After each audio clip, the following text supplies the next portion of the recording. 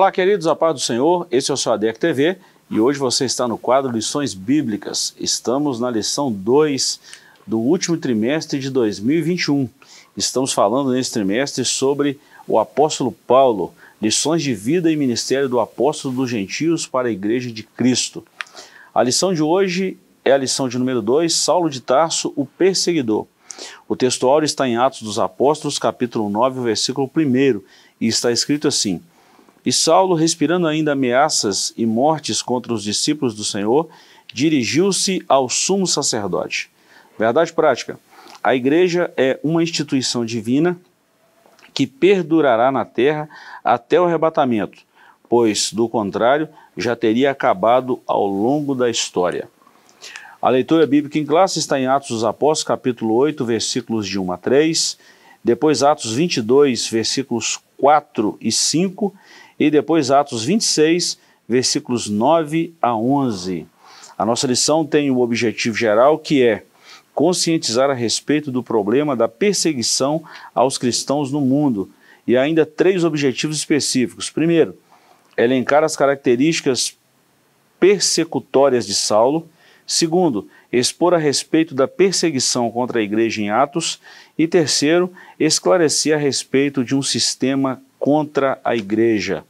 Comigo mais uma vez, professor Joás, estamos adentrando aí o quarto trimestre de 2021 e já é a segunda lição, não é? E nós estamos falando agora do apóstolo Paulo, estudamos a primeira lição, o mundo em que o apóstolo Paulo vivia, o mundo de sua época, e agora nós começamos a falar a história do apóstolo Paulo a partir da sua conversão. Na verdade, antes da sua conversão, hoje nós vamos falar desse do Saulo, o perseguidor. Pois é, Saulo, Saulo era um fariseu, né? E zeloso da lei e olhava nos cristãos uma ameaça né, a, a, ao judaísmo, porque numa certa medida eles é, não obedeceram uma ordenança clara de Jesus que era para expandir o evangelho, né, não ficar só entre os judeus, né. Jerusalém, Judéia, Samaria, confins da terra, eles ficaram em Jerusalém. É, então, é, isso, essa perseguição né, iniciada por Paulo acaba contribuindo para que o evangelho saia um pouco de Jerusalém, né, em, certo, em certa medida. É, muitos começaram a fugir da perseguição de, de, de Saulo. É, e a perseguição dele se dava por conta justamente do seu zelo. Né? Ele era um, um judeu é, que, pelo seu zelo, se tornou fanático. Né? E um religioso fanático é o pior tipo de fanático que tem. Né? De todos os fanáticos, o religioso é o pior. É, isso a gente pode afirmar. A essa altura né, da nossa história como humanidade, a gente pode afirmar isso com muita clareza e com muita tranquilidade. Né? É, porque você tem fanáticos ideológicos, você tem fanáticos é, filosóficos, né, e tudo, de todos os tipos de fanáticos, mas o fanático religioso ele é capaz de matar né, alguém que não segue a sua crença. Então isso é complicado e perigoso, né? Verdade. Professor, só para a gente entrar aí na nossa introdução, a leitura bíblica em classe está falando aí de Atos capítulo 8, que fala aí onde Saulo, aparece Saulo, né? É, segurando as vestes aí dos que apedrejaram Estevão, o jovem Saulo. Já no capítulo 9, que é o nosso texto áureo, aparece aí quando Saulo converte, né? O capítulo 9 fala da conversão de Saulo. Agora o capítulo 22 e o capítulo 26, ele vai repetir essa história da sua conversão diante de dois julgamentos, né? Na sua defesa. Então é muito interessante a gente falar sobre isso Paulo teve duas, duas fases na vida. Teve o, Saulo, o perseguidor, um fariseu, te explicou muito bem, é, zeloso, e esse zelo o consumia, e ele se tornou um fanático, a ponto de perseguir a igreja. E mostra depois um Paulo pregando o evangelho aos gentios, que vai ser o tema das próximas lições. É. Você vê que a igreja, a igreja que começou lá em Atos 2, né, era uma igreja é, que cresceu muito rapidamente, entre os judeus, né, no meio dos judeus. Começou a crescer em Jerusalém mesmo. E você vê isso aí no capítulo 2, né, verso 44, por aí. e você vê que eles tinham tudo em comum, né? Eles eram a, a unidade deles era evidente. E por crescer tanto assim em Jerusalém, ela teve dificuldades até de organização. Né? Aí você vê no capítulo 6 né, de Atos a instituição dos diáconos, né? a igreja foi se organizando. Né? É, entre esses diáconos aí estava Estevão né, e Filipe, né, os mais proeminentes aí, é, os pregadores mais, mais fervorosos que tinha entre, entre esses diáconos, esses primeiros diáconos que foram instituídos. E Filipe, né, você vê é, no verso 10 do capítulo 6, ele tinha, além de, de um poder né, é, de autoridade da escritura, ele tinha um poder de persuasão, né, uma, uma inteligência, né, uma perspicácia, uma sabedoria para falar muito grande. Né? Você vê que no verso 10 de, Atos 6, não podiam resistir à sabedoria com que falava. É, então, imagina você discutir com alguém que qualquer coisa que você fala, qualquer argumento que você use, ele tem um melhor, né? É, um mais sábio. Né? Qualquer palavra que ele fala é, exala mais sabedoria. Né? Imagina alguém do gabarito cultural de Paulo, né? cultural, filosófico e religioso né? e teológico de Paulo, discutir com um sujeito desse, novo, né, um camarada novato, novo, não tem a proeminência que Paulo tem, e você vai discutir com esse camarada e não tem argumento. Então isso acendeu mais ainda a ira desse fariseu zeloso, né, e se juntou a outros grupos ali para debater com, com Filipe e não, não conseguiu vencer o debate. Né? Então isso aí provocou, provocou mais ainda a ira desse desse homem que começou a perseguir com mais veemência ainda. Tanto é que quando ele se converte lá no capítulo 9, né, ele vai dizer que é, se converteu no momento em que ele estava ainda respirando ameaças de morte. Olha, como é que faz para respirar ameaça, né? É, então o camarada, ele cheirava morte, ele cheirava ameaça, né? Então ele ele estava completamente tomado de ira, né, e de rancor e de ódio pelos cristãos. Né? E na cabeça de Paulo ele estava resolvendo um problema, né? Sim, ele estava servindo ao Deus dele, ao Deus vivo, né? estava prestando um serviço ao Senhor, né? ao Deus de Israel. Isso na cabeça dele. Né?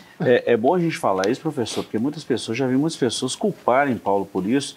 Não estou dizendo que ele está errado, mas na cabeça dele, na formação dele, na formação, vamos falar assim, cultural de Paulo, ele está agindo dentro da lei, né? Sim. Ele está na legalidade. É claro que no meio desse caminho aparece o Senhor e Paulo converte, a história dele muda.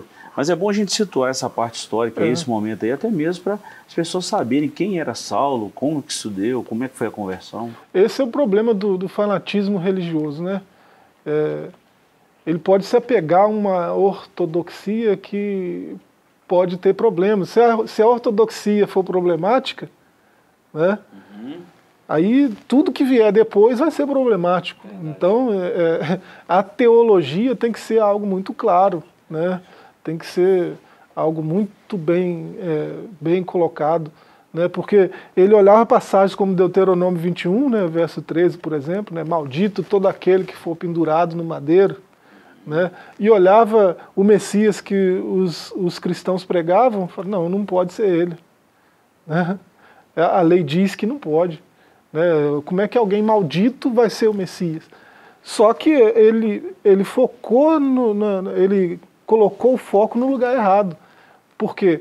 Né, ele mesmo vai escrever depois, né, lá em Gálatas 3,13, né, que ele se fez maldição por nós. Por que se fez maldição? Né? Lá, em, lá em Levítico, em Deuteronômio também, quando alguém levava uma oferta pelo pecado, né, trans, colocava a mão sobre o, o, o bode, o carneiro, a ovelha, né? colocava a mão sobre a cabeça e transferia a culpa para o animal, né? e o animal se tornava maldição, né? se tornava oferta né, pelo pecado, mas é, o animal estava maldito, ele carregava a maldição, carregava o pecado. Né? Cristo se fez pecado por nós, ele está dizendo isso, que o animal não era mais chamado de ovelha, era chamado de pecado, era chamado de maldição. Então é maldito que for pendurado. Jesus se tornou a oferta pelo pecado. Então ele tomou, Isaías escreveu isso, né? ele tomou sobre si a nossa maldição, né? as nossas dores, nossos pecados. Né? Então ele assumiu para ele ele se tornou pecado, né? a oferta pelo pecado. Né? Se tornou o cordeiro que tira o pecado do mundo. É, então, é, Paulo não entendeu essa parte. Ele entendeu só o que, o que ele queria entender, aonde ele colocou o foco. Né? Verdade. É, é, é um verdadeiro substituto, né? Pois é. Substituto. Professor, a gente vai entender muito essa mente de Paulo quando a gente estuda Romanos. Eu sou suspeito em falar em Romanos esses dias, porque já tem um tempinho já. Mas quando a gente vê a mente de Paulo de uma forma doutrinária em Romanos, a gente vai ver Paulo colocando a situação do homem em pecado, a necessidade do Cristo Salvador, a necessidade da encarnação do Verbo, da salvação vinda por ele. Somente um Deus poderia desviar a ira de Deus e por aí vai. Então a gente a gente é uma dica aí para quem gosta né, de uma doutrina teológica boa, pura, é, aí o livro de Romanos, a carta de Paulo aos Romanos. Introdução. A história da expansão da igreja no livro de Atos mostra um fariseu zeloso, Saulo de Tarso. Ele tinha prestígio religioso e cultural entre os judeus. Por isso, ele ganhou carta branca das autoridades religiosas para perseguir os seguidores de Jesus e assim tornar-se um implacável perseguidor da igreja de Cristo do primeiro século. É o que estudaremos nessa lição. Saulo era um camarada temido, né? A pessoa tinha medo de Saulo. Qualquer cidadão judeu de Jerusalém que convertido ao cristianismo, né, que se entregou a, a, a, doutrina de Cristo, a nova aliança, tinha medo de Paulo. Né? É, o camarada não era brinquedo, é. não. Áspero. Alguns anos depois ainda da conversão dele, ainda tinha gente com medo dele. Né? Será que esse camarada converteu mesmo? É. Será que não está aí para para burlar é. o sistema e matar a gente, então por aí vai. Professor, esse primeiro capítulo nós vamos falar sobre Saulo de Tarso, o perseguidor implacável. Primeiro, Saulo se descreve como blasfemo, perseguidor e opressor. Tá, isso está em 1 Timóteo 1,13.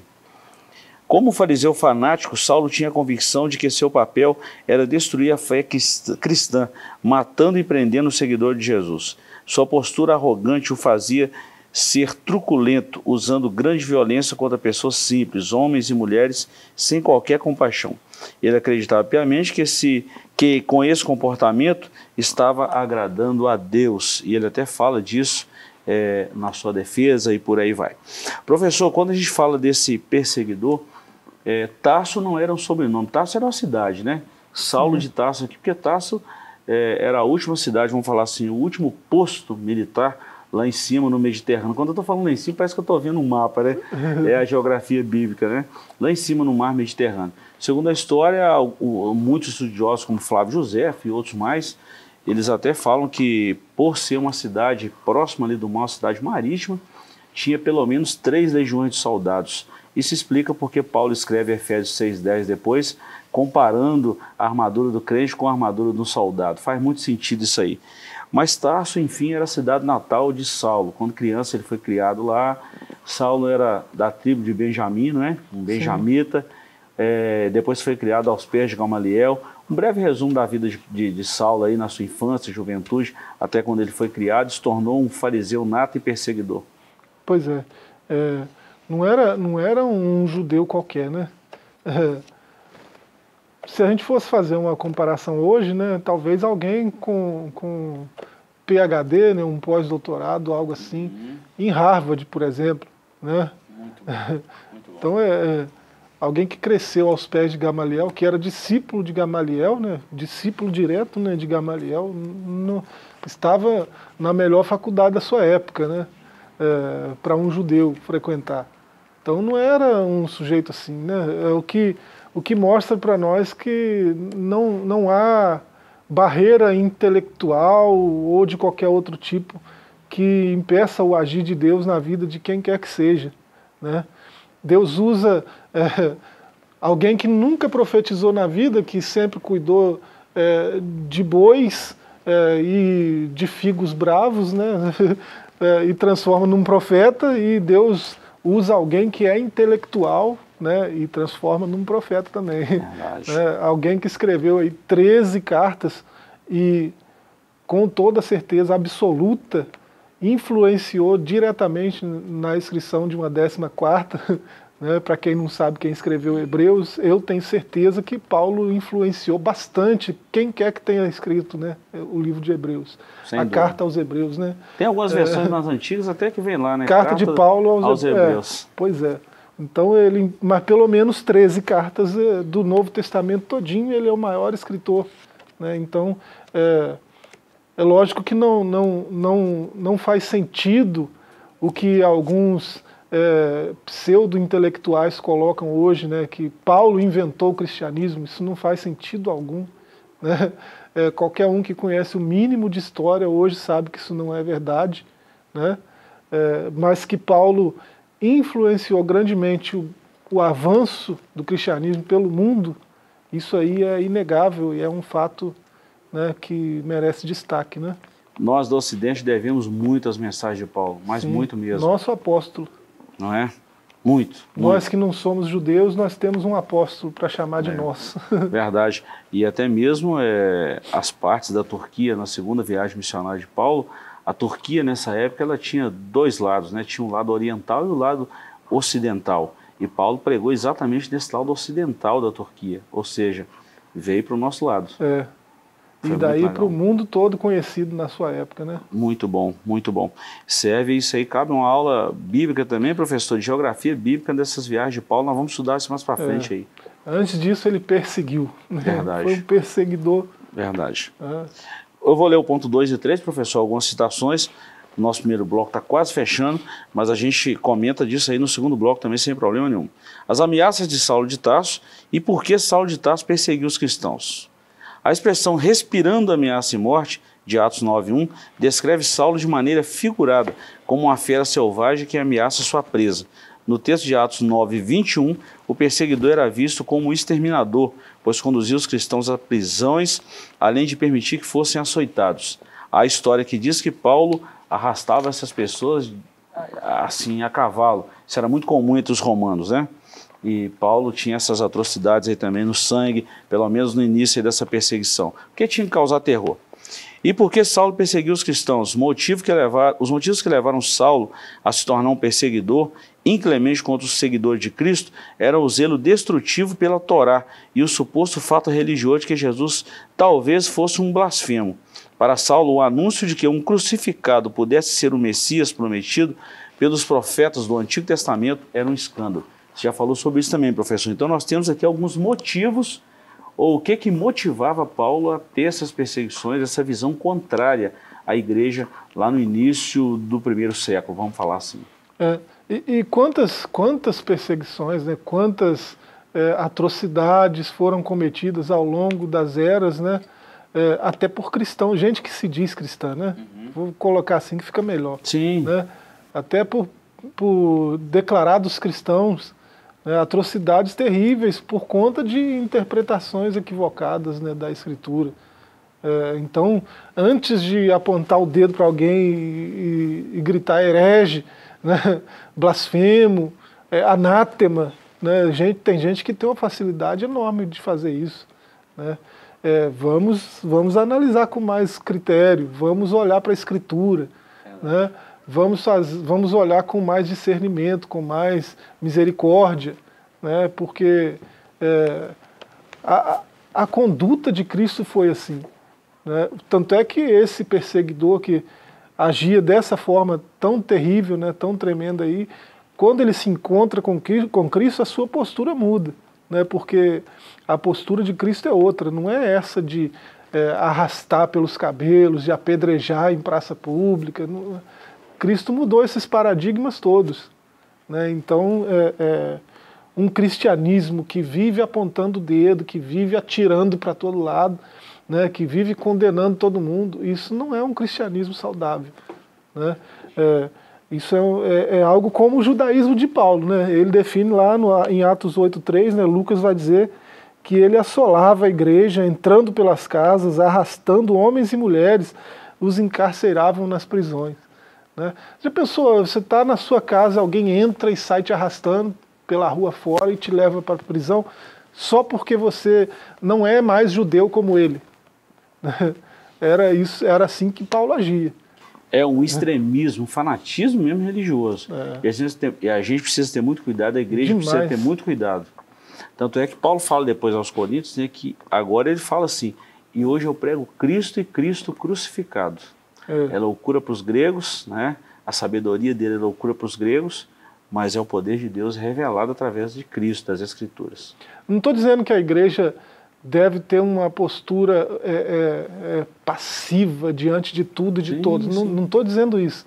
Né? Mas pacífica, sim. Sim. Porque é, se você não é capaz de vencer com argumento, para que usar violência? Né? Não tem necessidade. Para que né? violência? Né? a gente a gente, eu costumo brincar assim entre os amigos, né, que o herege tem que ser tratado como, como lobo, não como ovelha, né? Mas isso é, é, é brincadeira entre nós e é lógico que a forma de tratamento que eu falo é, diz respeito ao debate, sim. à discussão, né? Sim, as sim. cartas na mesa, não Exato. a violência de qualquer tipo. Sim, né? sim. Verdade. Professor, nós vamos dar um pequeno intervalo aqui. Espera aí só um pouquinho que a gente, a gente conclui isso aí. Nós vamos fazer um pequeno intervalo, voltamos já já com esse assunto maravilhoso que é o assunto da lição número 2. Voltamos já já.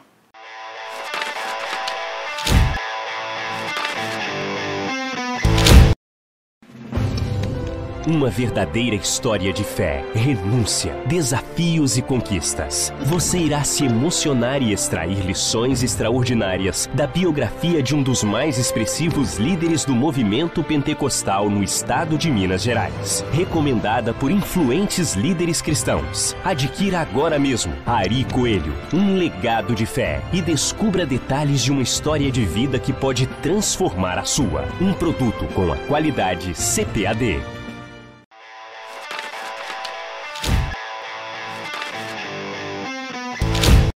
Estamos de volta com o seu ADEC TV.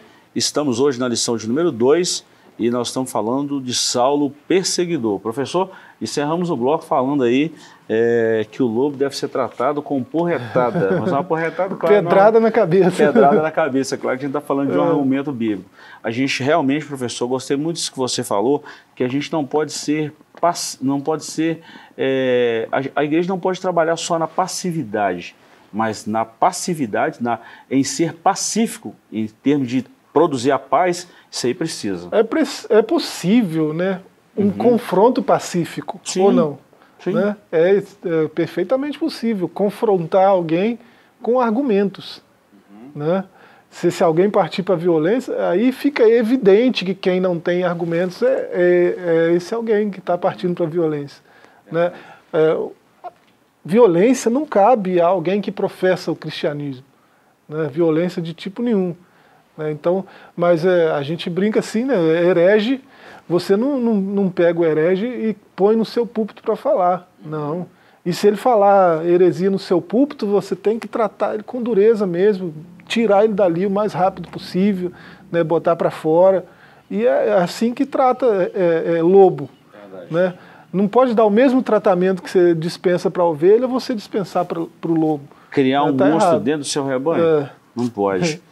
Bom, professor, nós falamos aí sobre essas ameaças e eu acho muito legal quando a gente chega em Atos 9, a intervenção do próprio Senhor na conversão de Saulo. Porque que é, é, Saulo estava, eu acho que ele estava indo além das suas fronteiras.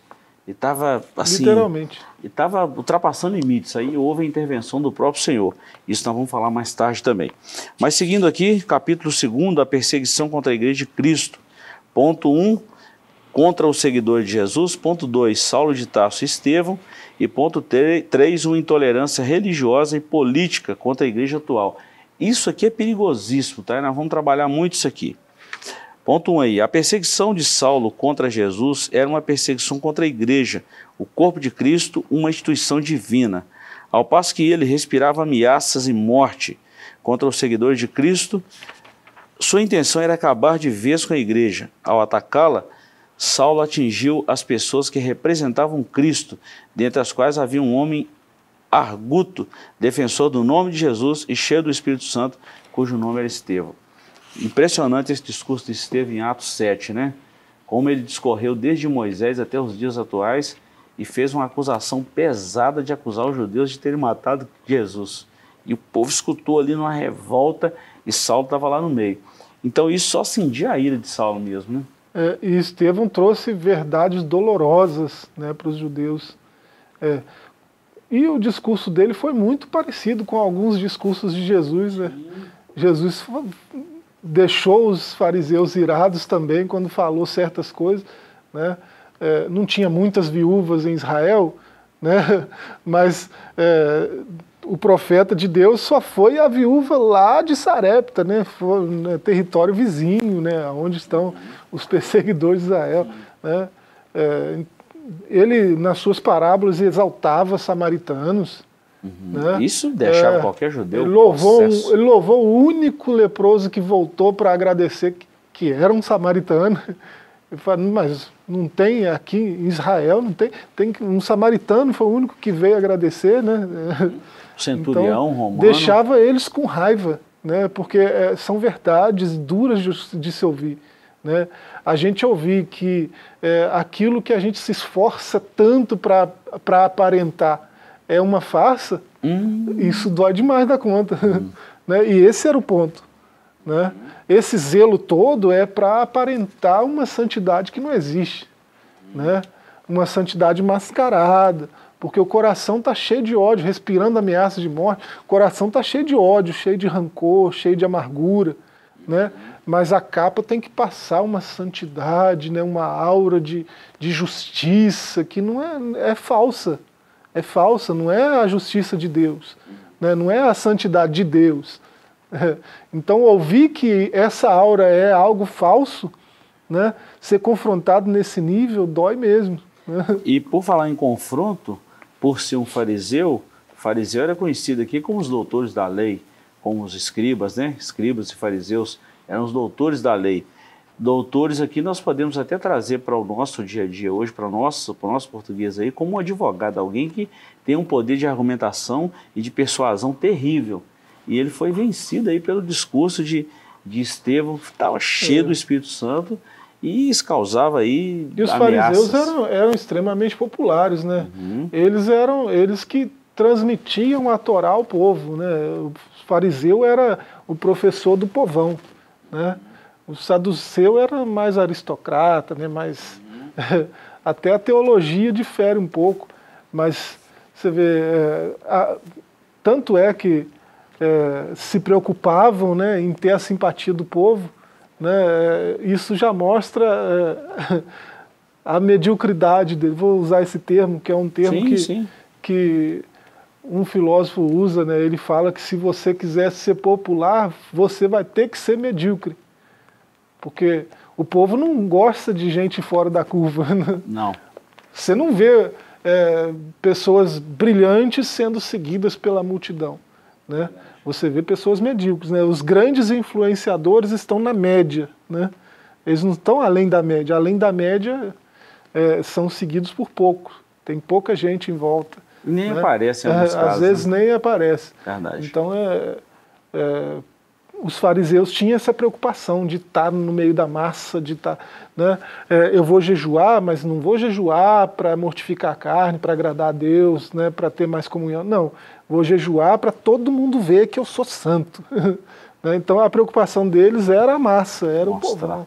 É, mostrar, né, exibir santidade que é uma santidade falsa. Né? Ah, professor, tem hora que tem hora que a língua costa para falar algumas coisas aqui, tá? É quase que um poder midiático que a gente está vendo aí nos dias atuais aí, tanto de filósofo aí na mídia e que está falando asneira aí. Um monte deixa, de filósofo, um monte né? de influenciador, né? um monte de, de mentores. Né? Que... Só na aparência. Vamos lá. Ponto 2. Saulo de Tarso e Estevão. Se por um lado Saulo, Saulo era um erudito que chamava atenção devido à sua cultura judaica e até mesmo grego-romana e autoridade na Torá, Estevão era um erudito do judaísmo com grande capacidade do espírito para confrontar ideias contrárias aos ensinos de Jesus.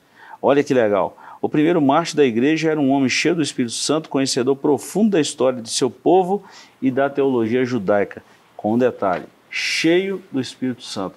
Pensa um homem desse, professor, o que, que não poderia fazer, hein? Estevão cheio de Deus, né? Ele falava E como as palavras que ele falava eram palavras que vinham de Deus, né? porque ele falava pelo Espírito Santo, então são palavras que vêm de Deus, é, essas palavras feriam muito a, o orgulho desses homens. Né? É, tanto é que a expressão que é usada lá em Atos 7, né, eles tinham comichões, comichões. nos ouvidos. O que, que, que, é isso? Né? Professor, Paulo vai até falar isso depois mais tarde, né? Que não sofrerão ação doutrina, talvez ela até remonta a pontos assim, mas é interessante que hoje quase ninguém pode ser confrontado, professor. Quando a gente escuta uma palavra que não é aquela que a gente quer ouvir, não é? Por isso que eu tenho muito medo dessas mensagens aí de autoajuda, e quero até aproveitar que nós não precisamos de mensagem de autoajuda, nós precisamos de mensagem de ajuda do alto, que faz toda a diferença, né, que é o evangelho puro, mas essas coisas que massageiam o ego. Eu não estou dizendo que nós não devemos fazer um elogio, que nós não devemos traçar um elogio, não é nada disso. Mas muito cuidado, porque isso é perigoso, isso massageia o ego, isso, isso é como se você estivesse tirando Jesus do lugar de primazia e colocando o homem. Isso é muito perigoso. E era exatamente isso que confrontava Saulo. Peraí, eu estudei, eu fiz isso, fiz aquilo outro, sou judeu, e agora esse camarada aí do nada serve esse tal Jesus aí e acha que pode debater com a gente. O que, que é isso? Então, pronto, é, é o que você falou. O ponto divergente e convergente era esse aí. Você vê que é, Estevão era tão poderoso na palavra, né, por conta do, do agir do Espírito Santo na vida dele.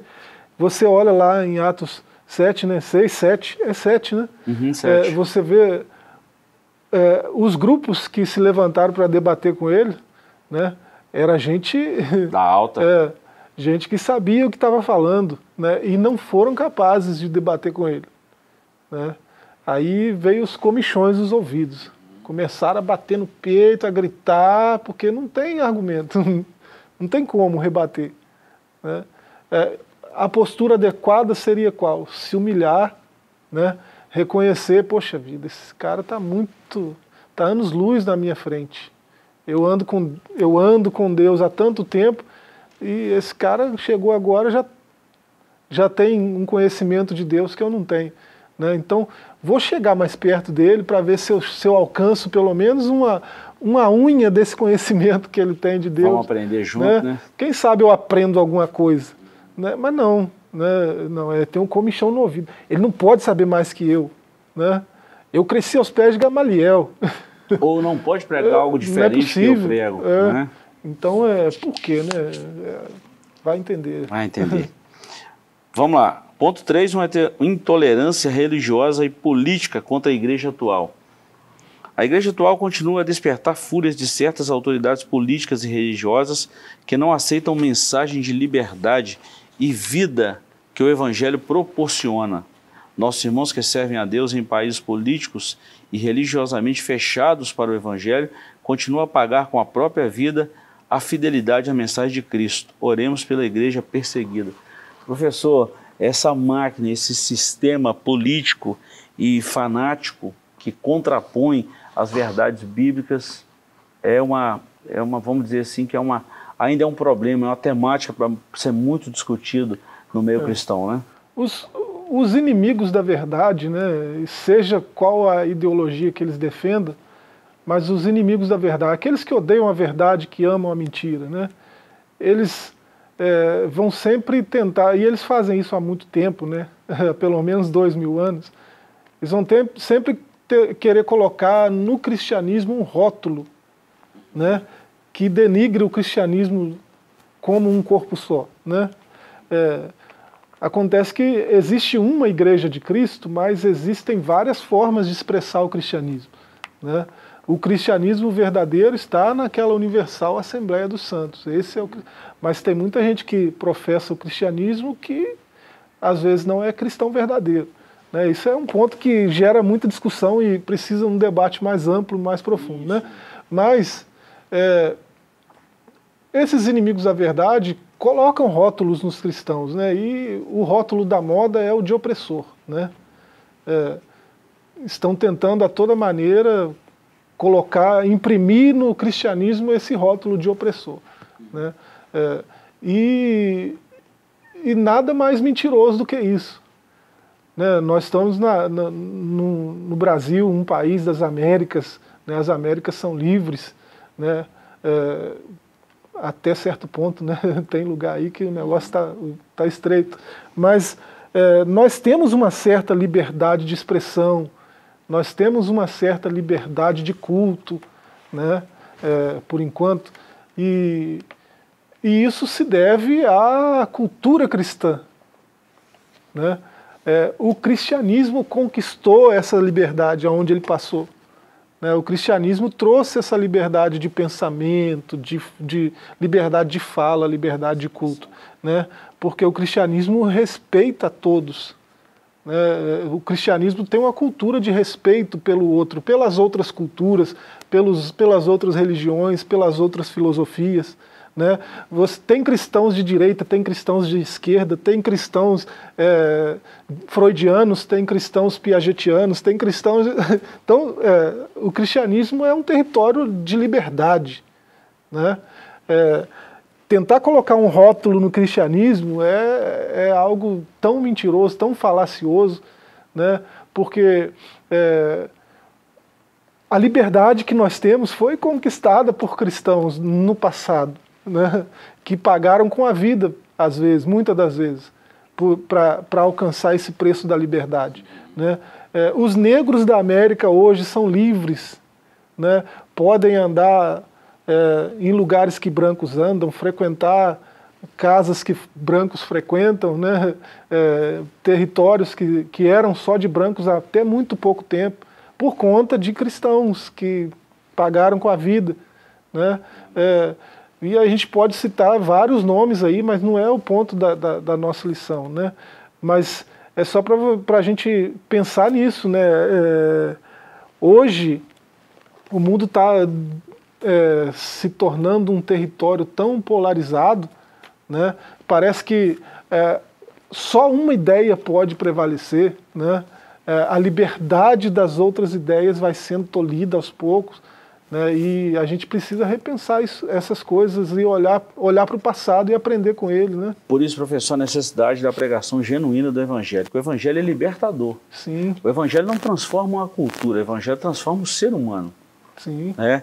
Pode transformar uma cultura? Pode, se essa cultura for uma cultura errada, uma cultura perversa e que transgride, fere um princípio da Bíblia Sagrada e que fere a santidade de Deus, com certeza essa cultura vai ser moldada maldada. Né?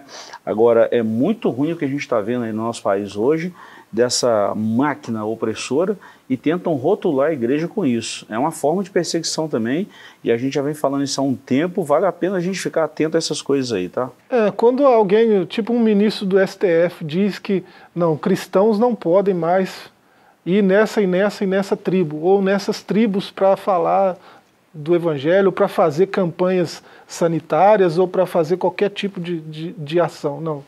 Tem que cristãos ficar aqui e tribos ficar aqui, né? Não pode ter contato. Isso é uma perseguição clara. Né? Étnica, né? né? É, Religiosa, política. Clara. Por que, que outros. Por que, que um, um, um magnata americano pode fazer isso e lá entrar nas tribos e um cristão brasileiro, né, que é irmão dos índios, não pode? né? É, então... São, são coisas que a gente, é. a gente vê que a história se repete. Aconteceu nessa época de Saulo, uma força política religiosa, porque a classe, a classe do Sinédrio, né, o sumo sacerdote, os sacerdotes, escribas e anciãos, eles tinham uma força política e religiosa muito forte. Então, por isso que Paulo conseguia carta fácil para ir perseguir os cristãos. Ele não tinha isso à toa, então ele tinha autoridade religiosa e política também para fazer isso. Então é Sim. muito bom. Professor, nosso tempo está fechando aí, mas vamos dar uma, uma pincelada rápida aí nesses três tópicos aí do capítulo terceiro. Quando um sistema se revolta contra a igreja, né? Como a perseguição contra os primeiros discípulos, como era essa perseguição, é, perseguição, tortura e o método que era isso aí, e a perseguição aos pentecostais a gente vê no início desse movimento pentecostal no Brasil. Mas vamos só discorrer isso aqui, professor, que o nosso tempo está quase mandando a gente parar. É, como era essa perseguição contra os primeiros discípulos? A gente veio o Coliseu, veio as catacumbas de Roma. É muito fácil a gente pesquisar no Google o livro aí, História dos Hebreus e mais um monte de coisa aí, que a gente vai ver o tanto de violência que era impregnada, pregada, difundida e feita pelos, pelos em, no, no meio dos primeiros cristãos ali. E Saulo foi um desses precursores aí, desses iniciantes aí que perseguiu. Depois a gente vê isso aí, um método de tortura. Não é? Pegava um coliseu, soltava lá as crianças com as mães, soltava leões e fazia aquela desordem toda lá. E agora a gente vê também essa perseguição ideológica, é, vamos falar cultural e teológica nos nossos dias. Isso começou nos primeiro, no, no é. primeiro movimento da igreja no Brasil, né? E a gente vê isso aqui bem escancarado. Método que, que Paulo chegou a usar também, né? Está lá em Atos 26, 11, né? Exato. O método de, de tortura psicológica, né? Ele, ele diz que, castigando-os muitas vezes por todas as sinagogas, os obriguei a blasfemar, uhum. né? né? Falar mal do Cristo. Né? Os obriguei a blasfemar. Né? Torturava até o sujeito negar, né? cansar e, né? Uhum. É, ia enfurecido demasiadamente contra eles, até nas cidades estranhas os perseguir. É, eram 6 milhões de judeus nessa época. E Paulo tinha autorização para ir em qualquer um desses do Império Romano. Qualquer um desses 6 milhões. Olha a autoridade que Paulo tinha, né? Tinha carta na mão para isso. Né? Mas ele, não contente com esses 6 milhões, ele chegou, ele chegou a admitir que até nas cidades estranhas, até onde não era jurisdição romana, ele foi atrás de judeu convertido ao cristianismo para perseguir, para atormentar. Né? E o nível de perseguição, ele mesmo fala em Gálatas 1,13, é de devastação. Matava. Devastação, olha que palavra que Paulo usa, né? Destruía, em Gálatas 1,13. Então é, o negócio era, era estreito. E paralelos com o pentecostalismo, né? É, sempre foi uma corrente teológica é, menosprezada, né? É, achincalhada até hoje.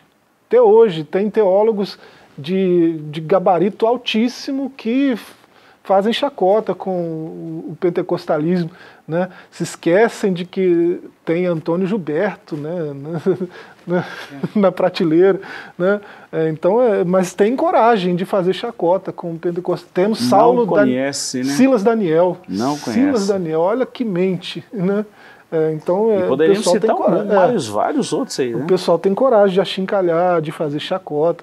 Né? Elianai Cabral.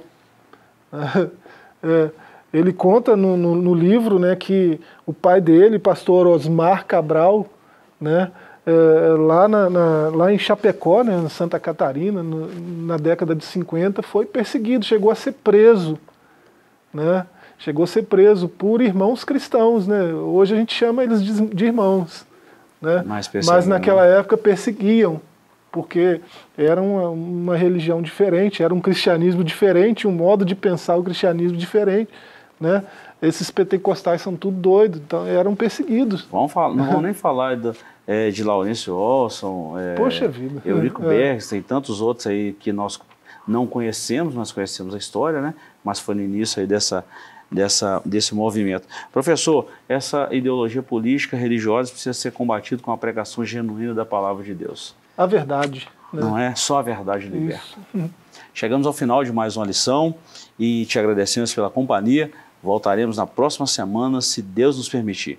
Forte abraço e até lá.